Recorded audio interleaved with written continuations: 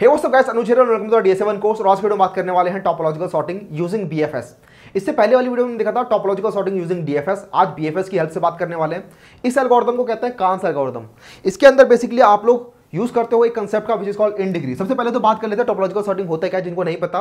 वैसे अगर आप लोग ये वाली वीडियो देख रहे हो तो इससे पहले ज़रूर मेक श्योर करो कि इससे पिछली वाली वीडियो डी डीएसएवन कोर्स के अंदर which is topological sorting using DFS वो ज़रूर देखो। आप लोगों को एटलीस्ट टॉपोलॉजिकल सॉर्टिंग का आइडिया लग जाएगा कि होता क्या है।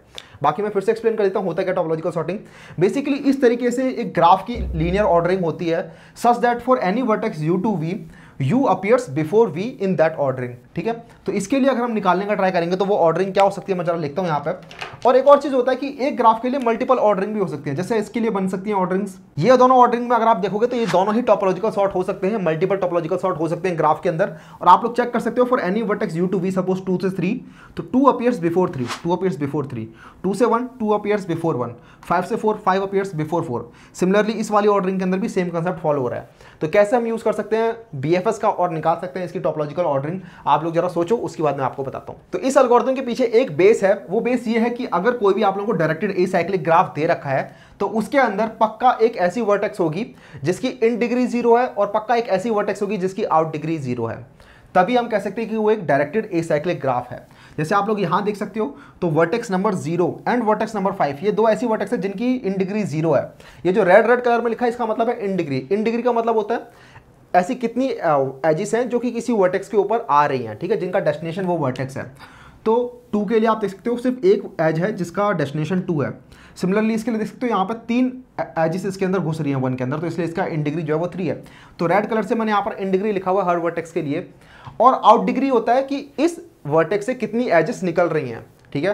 तो आप यहाँ देख सकते हो जैसे फोर एक ऐसी वर्टेक्स है जिसका आउट डिग्री ज़ीरो है राइट तो अगर एक डायरेक्टेड एसाइक्लिक ग्राफ है तो उसके अंदर पक्का ये मेक श्योर हो रखा होगा कि एक वर्टेक्स ऐसी होगी जिसकी इन डिग्री ज़ीरो होगी एटलीस्ट एक, और एटलीस्ट एक वर्टेक्स ऐसी होगी जिसकी आउट डिग्री ज़ीरो होगी। इसी का फ़ायदा उठा के हम लोग इसके अंदर टॉपोलॉजिकल सॉर्टिंग कर सकते हैं। तो कैसे कर सकते हैं हम टॉपोलॉजिकल सॉर्टिंग यूजिंग बीएफएस तो बीएफएस को करते टाइम हम एक यूज़ करते हैं क्यू का राइट एक क्यू होती है हमारे पास और इस क्यू के अंदर हम एलिमेंट्स डालते हैं और उसके बाद एलिमेंट्स को बाहर निकालते हैं और उस एलिमेंट से जितने भी नेबर हैं जो अभी तक विज़िट नहीं हुए हैं, उनको एलिमेंट को क्यू में डाल देते हैं राइट इस तरीके से हमारा काम होता है। वेल सेम कंसेप्ट आप लोग यहाँ भी लगा सकते हो। किस तरीके से लगाओगे? कि आप लोग उन वर्टेक्स को लोगे पहले जिनकी इन डिग्री ज़ीरो है और उनको आप लोग क्यू में डालोगे सबसे पहले, ठीक है? रैंडमली कोई भी वर्टेक्स को आप क्यू में नहीं डाल सकते। आप लोग उसी वर्टेक्स को क्यू में डालोगे, सबसे पहले जिसकी इन डिग्री ज़ीरो है। और हर बार आप यही करोगे, जिसकी भी इन डिग्री ज़ीरो होती है, उस वर्टेक्स को क्यू में डालोगे। तो हो गया रहा है यहाँ पर कौन कौन सी वर्टेक्स है जिसकी इन डिग्री ज़ीरो है? तो ज़ीरो एंड फाइव किसी भी ऑर्डर में आप लोग डाल सकते हो। पहले मैं ज़ीरो को डाल देता हूँ। आप लोग चाहो तो पहले फाइव को भी डाल सकते थे। अब हम लगाएँगे normal B F S B F S क्या कहते हैं? कि एक एलिमेंट को बाहर निकालो क्यू में से। जब तक क्यू खत्म ना हो जाए, तब तक ये प्रोसेस रिपीट करो कि एक एलिमेंट को बाहर निकालो क्यू में से तो हमने ज़ीरो को बाहर निकाला। ज़ीरो को हम लिख देंगे कि हाँ ठीक है ज़ीरो ये आउटपुट के अंदर हमने ज़ीरो को डाल दिया, ठीक है?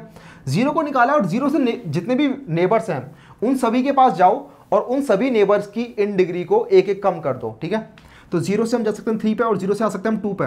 तो थ्री की इन डिग्री को एक कम कर दो तो ये हो जाएगा टू से वन और इसकी भी इन डिग्री को एक कम कर दो तो हो जाएगा वन से ज़ीरो ठीक है?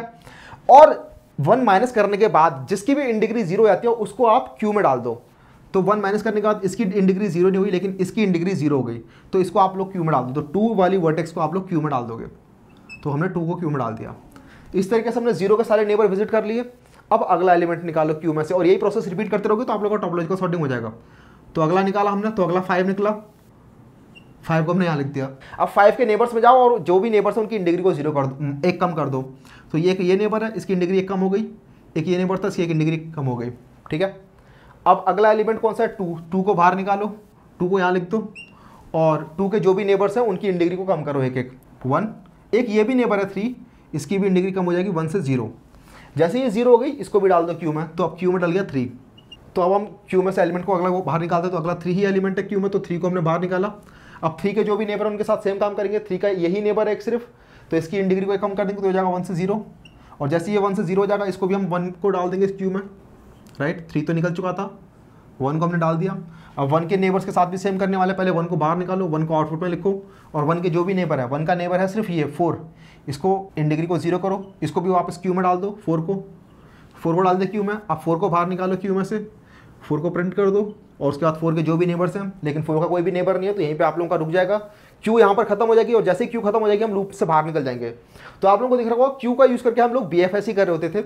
यहाँ भी हम लोग बी ही कर रहे हैं और आप लोग कैसे कह सकते हैं कि ये वैलिड टोपोलॉजिकल ऑर्डरिंग ही है इसकी हेल्प से? क्योंकि आप लोग क्यू में एलिमेंट तभी डाल रहे हो जब उस एलिमेंट की इन डिग्री ज़ीरो है। और जिस एलिमेंट को आप लोग क्यू में पहले डालते हो, वही एलिमेंट पहले बार निकलता है। अब जिसकी इन डिग्री ज़ीरो है, वो तो टॉपोलॉजिकल ऑर्डरिंग में पहले आएगा ही राइट तो जिसकी भी इन डिग्री ज़ीरो होते जाती है, उस एलिमेंट को हम क्यू में डालते जाते हैं।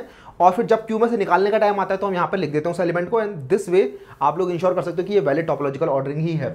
तो ये एक ऑर्डरिंग हो सकती है। आप यहाँ पर देख सकते हो, मैंने इन दोनों के अलावा एक अलग ही टॉपोलॉजिकल ऑर्डरिंग निकल के आ गई, लेकिन ये भी वैलिड है। तो इस तरीके से हमारी बी एफ़ एस का यूज़ करके बनता है। अब जब मैं इसका कोड कर देता हूँ कोड के बाद आप लोगों को और क्लियरली समझ में आने वाला है। तो ये रहा कोड यहाँ पर आ, मैंने डी एफ़ एस वाला कोड किया हुआ था। पहले इसको मैंने कमेंट आउट किया हुआ है। इसी के अंदर बी एफ़ एस वाला कोड देखने वाले हैं। अगर आप लोगों को डी एफ़ एस वाला कोड कर समझना है तो इससे पिछली वाली वीडियो देखना है। उसमें आपको मैंने पूरा समझा रखा है। जरा देखते हैं किस तरीके से काम करने वाला है यूजिंग बी एफ़ एस तो सबसे पहले हमें एक इंडिग्री नाम का एरे बनाना पड़ेगा राइट ये जो आप देख लो रेड रेड से मार्क कर रखा है मैंने हर वर्टेक्स के लिए। ये बेसिकली एक एरे है। जिसके अंदर इन डिग्री हमने स्टोर कर रखे है। तो इस इन डिग्री वाले एरे को बनाने के लिए हम क्या यूज़ करने वाले हैं? एक नॉर्मल फॉर लूप यूज़ करने वाले हैं, जिसकी हेल्प से आप लोग इन डिग्री फाइंड कर सकते हो। तो ये रहा वो फॉर लूप देख रहे हो आप डबल फॉर लूप है ये। बेसिकली कर क्या रहा है? हर एजेंसी लिस्ट के अंदर हर एक एलिमेंट में जा रहा है और चेक कर रहा है कि वो एलिमेंट एजेंसी लिस्ट में कितनी बार अपियर हो रहा है और उसके लिए इस इन डिग्री को प्लस प्लस कर दे रहा है। और ये मैं कैसे कह सकता हूँ कि ये वैलिड इन डिग्री ला के देगा? वेल आप देख सकते हो कि किसी भी एलिमेंट के लिए सपोज़ करो ज़ीरो एलिमेंट है ज़ीरो एलिमेंट के लिए जो उसकी एजेंसी लिस्ट होगी ज़ीरो पोजिशन पर वो क्या होगा?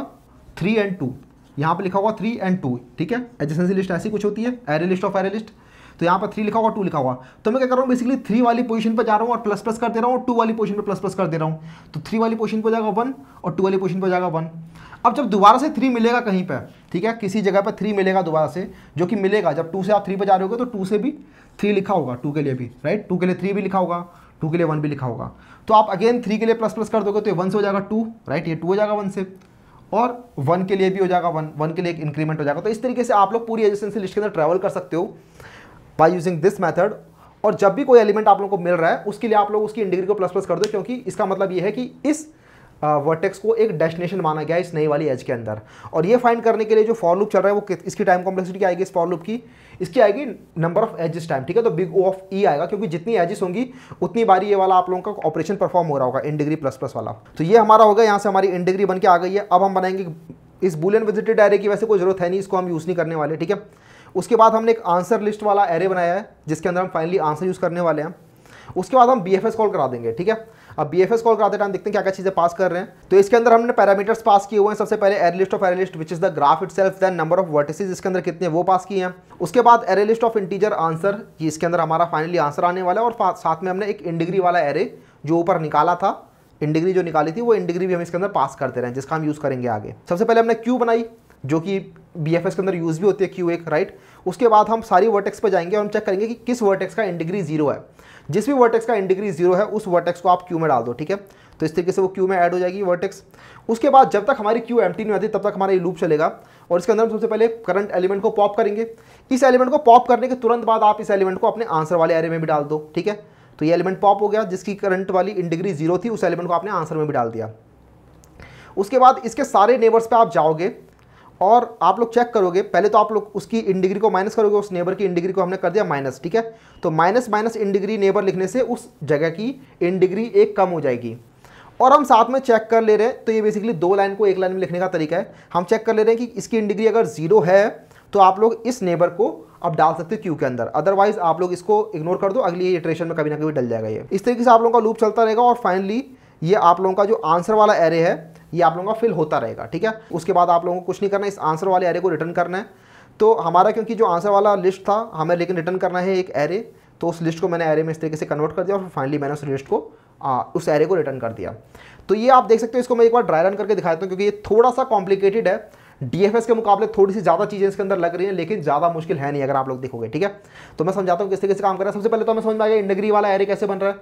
अब जरा समझते हैं किस तरीके से ये काम कर रहा है। तो सबसे पहले तो हमने क्यू बनाई और उस क्यू के अंदर हम वो एलिमेंट डालेंगे इटरेट करते हुए, जिनकी इंडिग्री ज़ीरो है। तो एक तो इसकी इंडिग्री ज़ीरो है, इसको डाल दो क्यू के अंदर तो ज़ीरो डाल जाएगा। उसके बाद किसकी इंडिग्री ज़ीरो है? फाइव की इंडिग्री ज़ीरो तो फाइव को भी डाल दो क्यू के अंदर। तो इस तरीके से हमारे क्यू में दो एलिमेंट डल गए। अब while queue is not empty तब तक हम अंदर जाएँगे। पहले एलिमेंट को बाहर निकालेंगे। This is current right current हमारा फ़िलहाल के लिए है ज़ीरो। और करंट को हम डाल देंगे आंसर के अंदर भी तो हमारे आंसर में ज़ीरो डल जाएगा, ठीक है? ये सपोज़ करो ये वाला आंसर वाला एरे है। उसके बाद हम, ये तो निकल गया क्यू में से, उसके बाद हम क्या करेंगे, इसके जितने भी नेबर्स हैं, उनकी इन डिग्री को एक कम कर देंगे। तो ज़ीरो के नेबर हैं थ्री एंड टू तो इनकी इन डिग्री को एक कम कर देंगे। तो टू की इन डिग्री को हम कम करेंगे तो ये हो जाएगा ज़ीरो और थ्री की भी इन डिग्री को हम कम करेंगे तो ये हो जाएगा टू से वन अब क्योंकि इसकी इन डिग्री ज़ीरो हो गई है तो इसको हम क्यू में डाल देंगे, ठीक है? तो हमने टू को क्यू में डाल दिया, इस तरीके से। उसके बाद हम अगले एलिमेंट को निकालेंगे बाहर तो फाइव बाहर निकलेगा ज़ीरो निकल गया फाइव निकल गया। करंट हो गया हमारा फाइव फाइव को हमने आंसर वाले एरे के अंदर भी डाल दिया। उसके बाद फाइव के जितने भी नेबर्स हैं, उनकी एक एक इन डिग्री को कम कर दो। तो one and four are the neighbours तो वन की इन डिग्री को हम कम करेंगे तो वन की इन डिग्री पहले थ्री थी, अब हो जाएगी टू और अगला है फोर फोर की इन डिग्री हो जाएगी टू से वन तो इसके बाद यहाँ पर ये खत्म हो जाएगा, हम अगला एलिमेंट बाहर निकालेंगे विच इज़ टू टू को निकालेंगे टू हो जाएगा हमारा करंट एलिमेंट और टू हमारा आंसर में भी डल जाएगा। टू के नेबर्स की डिग्री को हम करते हैं कि तो है नेबर्स थ्री एंड वन तो थ्री वाले को हम कम करेंगे तो ये हो जाएगा ज़ीरो इसको हम डाल देंगे क्यू में थ्री को हमने क्यू में डाल दिया. और अगला है वन तो वन की इन डिग्री को एक कम कर देंगे तो टू से हो जाएगा ये वन उसके बाद हम थ्री को बाहर निकालेंगे थ्री को हम बनाएँगे करंट थ्री को हम लिख देंगे यहाँ पर. और थ्री के नेबर्स की इन डिग्री को एक कम करते हैं तो एक ही नेबर है इसका वन वन की इन डिग्री को कम करते हैं तो हो जाएगा ज़ीरो और जैसे हो जाएगा ज़ीरो इसको डाल दो क्यू के अंदर। वन को आप यहाँ डाल दोगे, उसके बाद वन को बाहर निकालोगे वन हो जाएगा आपका करंट और वन के जितने भी नेबर्स हैं, उनकी इन डिग्री को एक कम कर दोगे तो वन का नेबर है सिर्फ़ फोर ठीक है? तो फोर की इन डिग्री को कम कर देते हैं तो फोर की इन डिग्री हो जाएगी ज़ीरो और जैसे ज़ीरो होगी फोर को भी आप यहाँ डाल दोगे। अच्छा वन को यहाँ पर भी लिखना है। उसके बाद अगली बार में फोर को बाहर निकालेंगे फोर हो जाएगा हमारा करंट और फोर को हम आंसर में भी लिख देंगे। उसके बाद फोर के जो भी नेबर्स उनकी इन डिग्री को एक एक कम करेंगे, लेकिन फोर का कोई भी नेबर नहीं है। और इस तरीके से आप देख रहे हो लूप से हम बाहर निकल जाएँगे वाइल लूप से और हमारे क्यू भी यहाँ पर एम्प्टी हो जाएगी। आपकी क्यू एम्प्टी हो गई और आपके आंसर के अंदर सारे सारे एलिमेंट फेल हो गए। उसके बाद ये आप आंसर रिटर्न कर दोगे। तो आई होप आप लोगों को पूरा का पूरा समझ में आ गया कैसे बी का यूज़ करके हम कर सकते हैं टॉपोलॉजिकल सॉर्टिंग इसके बाद हम बात कर रहे होंगे कुछ और टॉपिक्स की, जो कि टॉपोलॉजिकल ऑर्डरिंग से ही निकल सकते हैं। कुछ और क्वेश्चन की बात कर रहे होंगे। इस वीडियो में इतना ही था। ये वीडियो अगर आप लोगों को पसंद आई तो ज़रूर लाइक कर देना। कर देना, चैनल को सब्सक्राइब मैं हम लोग नेक्स्ट वीडियो में चलते हैं। Bye bye